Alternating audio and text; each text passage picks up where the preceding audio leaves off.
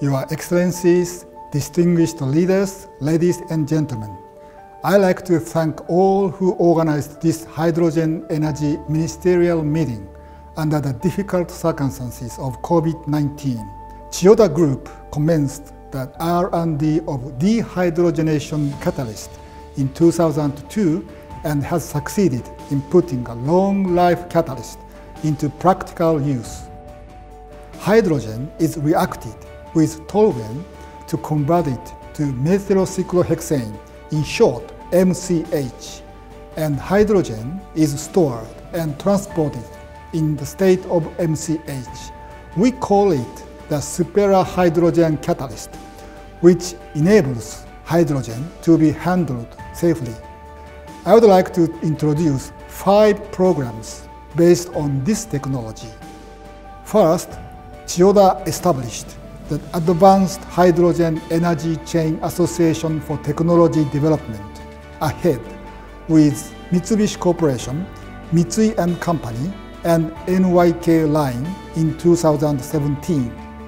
In 2020, subsidized by NEDO, AHEAD conducted demonstration of constructing the world first international large-scale hydrogen supply chain using MCH and successfully completed a stable supply of hydrogen.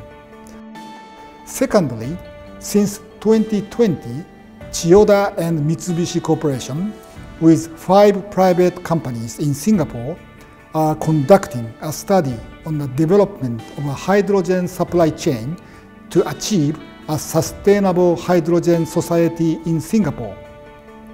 Thirdly, in July of this year, Chiyoda, together with Port of Rotterdam Authority and other partners, commenced for preparation of importing hydrogen into Europe on a commercial scale. Fourthly, Chiyoda participated in a hydrogen utilization study group in Chubu region, Japan.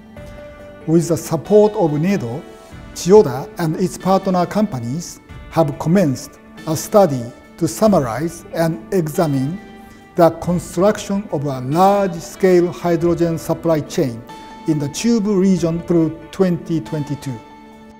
Finally, in August this, year, Chiyoda and ENEOS agreed to collaboratively demonstrate projects where the hydrogen is extracted from MCH for use in existing ENEOS refineries. MCH will be manufactured at AHEAD's plant in Brunei Darussalam and delivered from overseas to Japan.